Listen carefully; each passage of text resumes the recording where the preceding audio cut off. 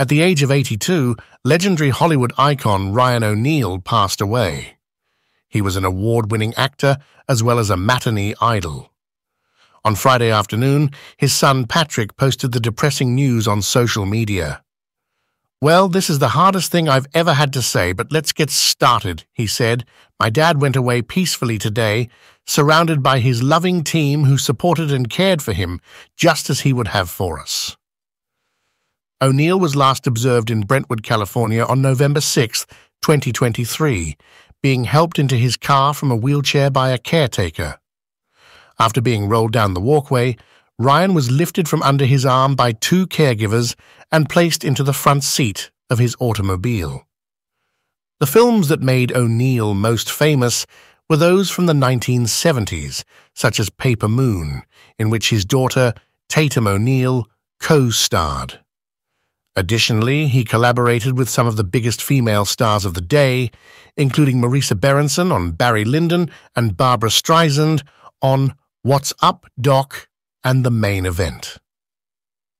In 1970, Ryan received a nomination for a Best Actor Oscar for his popular movie Love Story co-starring Ali MacGraw. After learning of the tragic news of Ryan's departure, Streisand paid respect to the late star on X, then known as Twitter, and posted a black and white photo of the two from their earlier days together. So sad to hear the news of Ryan O'Neal's demise, the actress posted as well.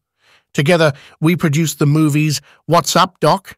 and The Main Event, he was endearing and humorous, and he will live on. In addition, Mia Farrow posted an homage to Ryan on Instagram, including a number of old photos and writing, Rest in peace, dear Ryan. Notably, the two co-starred in the Peyton Place television series.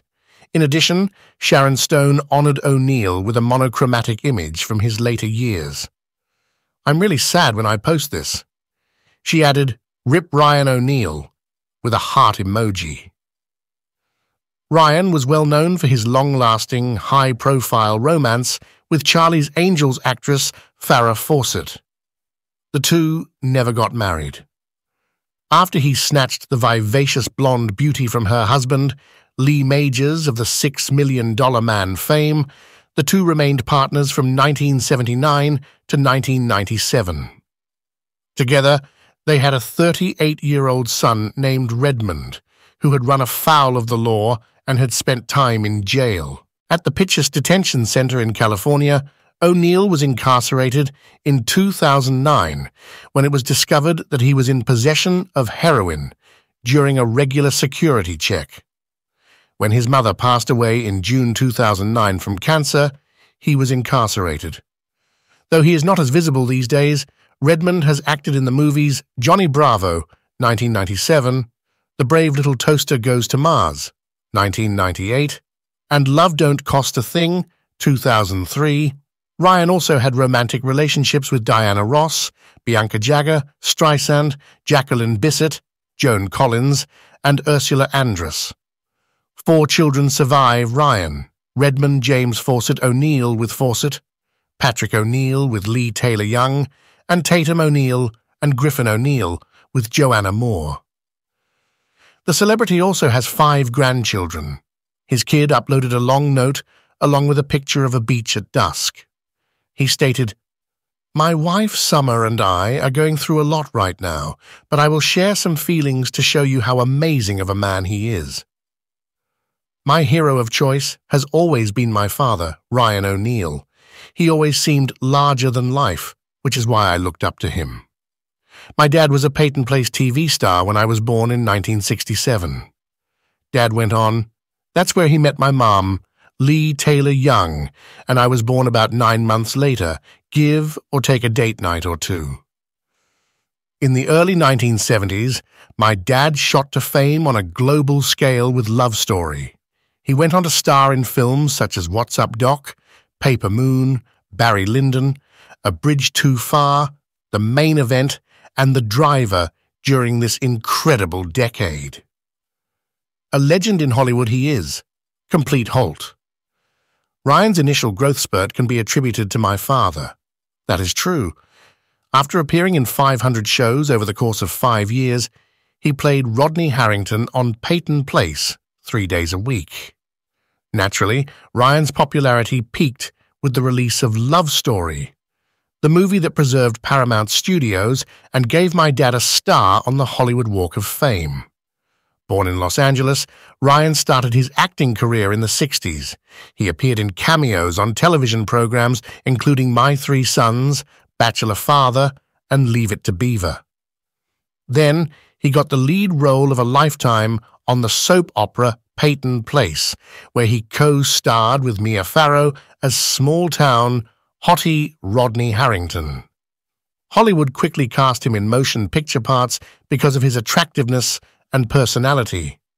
He portrayed an Olympic athlete in the Games in 1970. Then, because Love Story, 1970, was a slow-moving, emotionally charged story, not many people had faith in him to play the lead. However, the sob tale of two Harvard students in love, a pampered rich kid who despises his father and his intelligent, tough girlfriend from a working-class background, wowed fans with their chemistry. Before the movie came out, O'Neal stated, I hope the young people like it. I want to avoid watching TV again.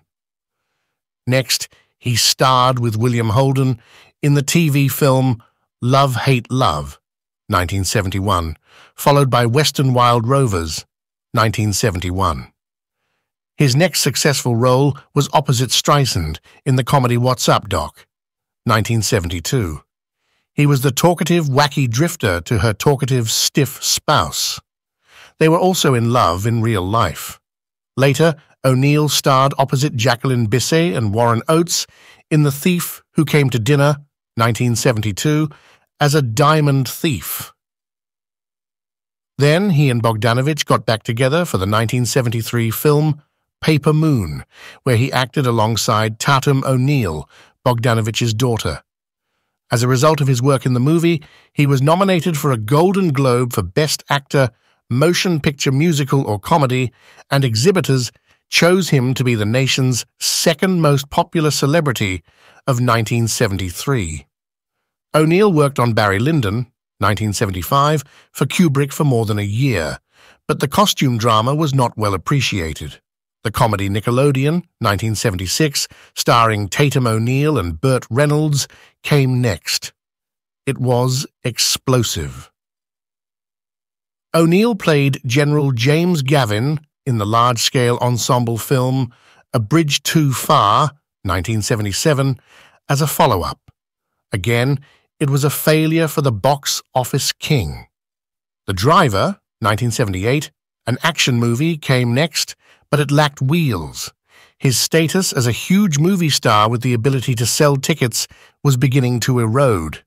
However, there were more failures, such as Circle of Two, which he would later claim he made for the money, and Green Ice, 1981. With the song Chances Are with Cybill Shepherd, he got a modest hit in 1989. When he and Farrah co-starred in Good Sports in 1991, he switched to television. Fans expected sizzle and chemistry, but they got none of it. A run of poorly received films followed, including Alicia Silverstone's TV series Miss Match, 2003, and Malibu's Most Wanted, 2003.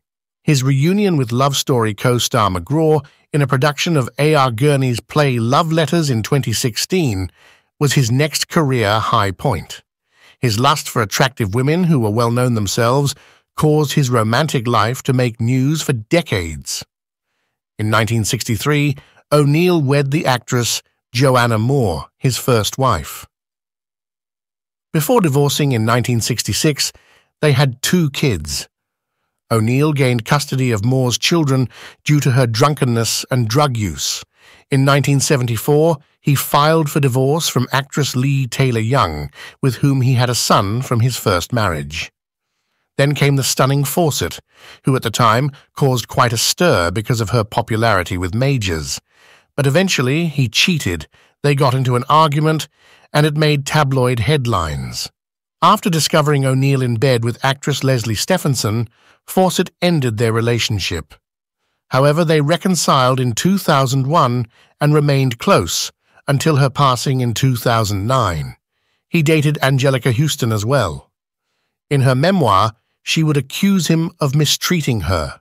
His daughter Tatum claims that he had an extramarital affair with Melanie Griffith.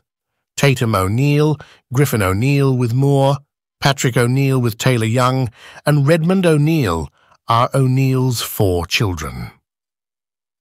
Alongside Fawcett is James Fawcett O'Neal. In addition to his 2009 jail term, Redmond has had other run-ins with the authorities. He broke his probation in 2015 and was given a three-year prison sentence for possessing a handgun. In 2016, he was set free the year after. Tatum, his half-sister, has also struggled with addiction in the past. She told people that his drug misuse and addiction was so bad that it breaks my heart. At the time of his 2015 arrest. Although I adore him, I have never witnessed the darker side of addiction. Nobody is sure how to handle Redmond. Based on my observations, it appears that he will not be able to survive. He was detained once more in 2018 on suspicion of robbery, attempted murder, and possession of illegal narcotics, including heroin and meth. Redmond spoke candidly with Radar Online in May 2018 from jail, shortly after his arrest, asserting that my entire life's experiences have affected me the most, rather than drugs as the source of his problems attributing his problems to being kicked out and living on the streets, and going to jail, being put in a psychiatric ward, and being embarrassed all the time because of who my parents are. He blamed his parents. That put pressure on me and set off a time bomb in my head. I never want attention, and I never asked for any of this. The newspaper then revealed in February of this year that Redmond has been incarcerated in a state mental health facility for slightly more than three years following a ruling in 2018 that he was not competent to stand trial for attempted robbery and murder charges.